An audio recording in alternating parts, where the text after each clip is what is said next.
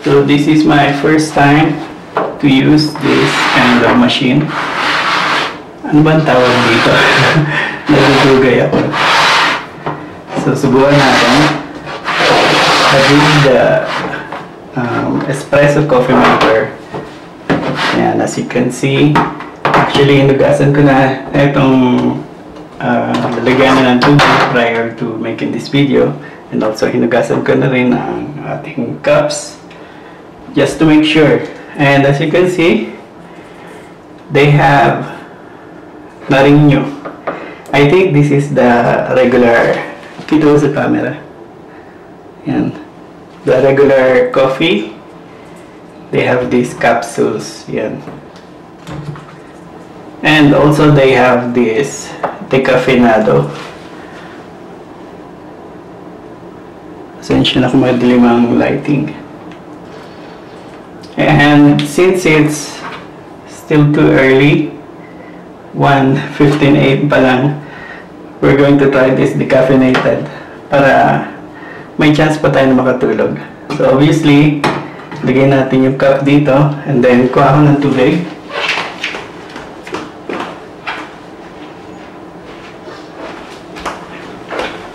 Here, they have provided us this complimentary water. And I think, ilang kayang water ang dapat ilagay dito. Let's see. Meron bang measuring cup?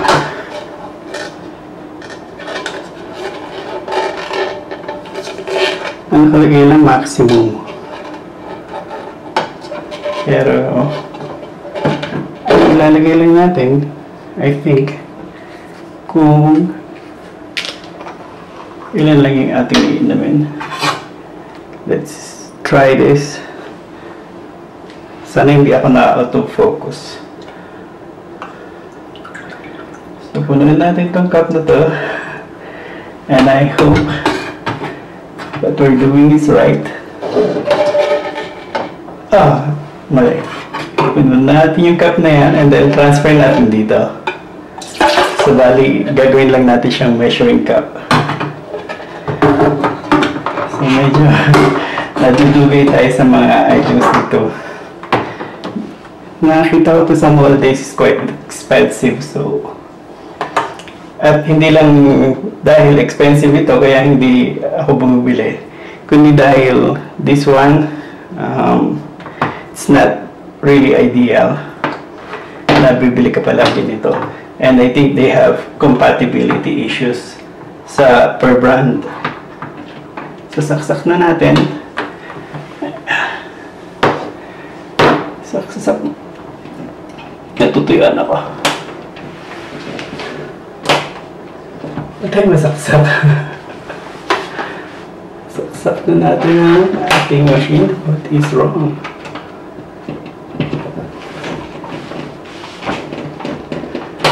Wala. Ba't tayo masaksak?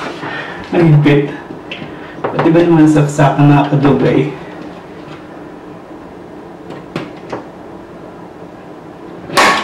Ayun, may lock pala. Biruin mo yun. Kita mo sa camera. May lock pala. Ipinipilit ko. Reset. Yun. Meron siyang on button. Pero tayo pa rin magkasya. Yun. Okay. Successful. Focus lang natin. Yan. And let's try to put this thing. Again, ang ita-try natin is this one, itong decaffeinated na capsule. Ang brand nito is Brit Espresso. So, if you can see, close up natin. Ibabaw. And,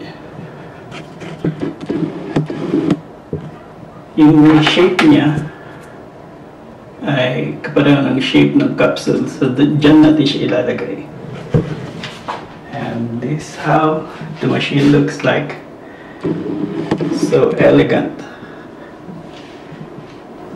so social. Tingnan natin kung masarap ba yung social na kape na to. And then, focus natin ulit. Focus natin sa cup. Okay. I think you're ready. Let's try the caffeinado. Lagay natin siya dyan. Close natin to. And sana tama ang ginagawa natin. Kung meron siyang button, okay. Yung start button.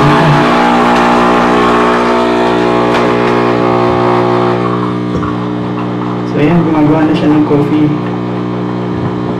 Close up natin.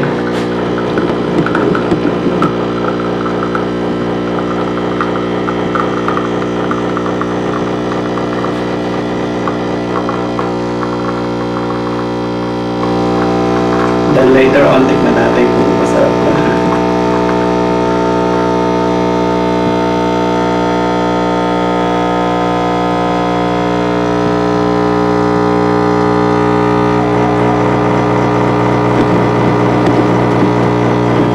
Mawala sa focus, pasensya na.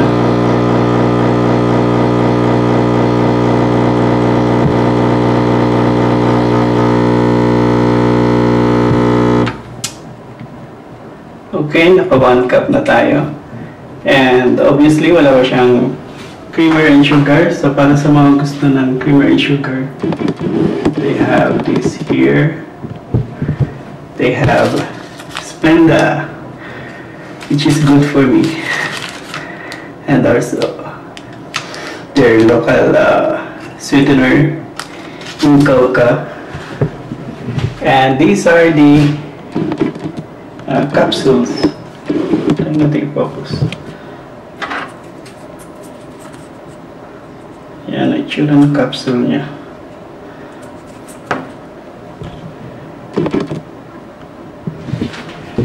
And subukan na natin kung masarap ang social na kape.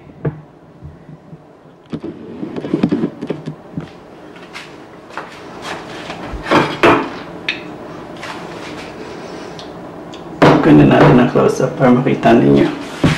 I'm not sure kung ilang use ang per capsule. One per cup lang ba? Yan yung itsura ng coffee.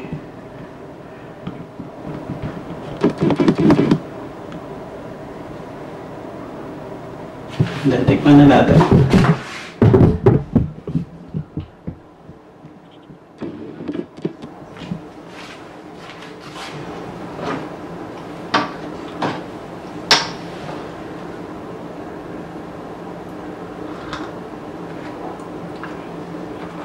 In fairness, masarap.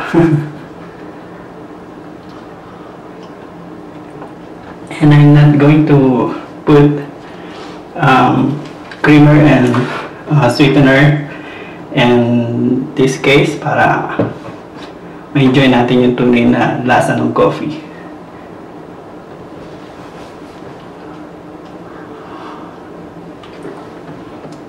So this is how the brewed espresso tastes like. I hope tama yung aking process ng pagkakagawa and if I did any mistake, feel free to comment down below. With that, thank you very much for watching and until our next vlog. Let's take another look at our coffee.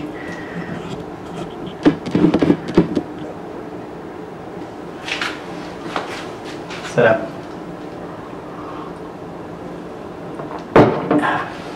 So, hindi siya pang pagising kasi decaffeinated yung aking tinimpla. Thank you for watching. God bless.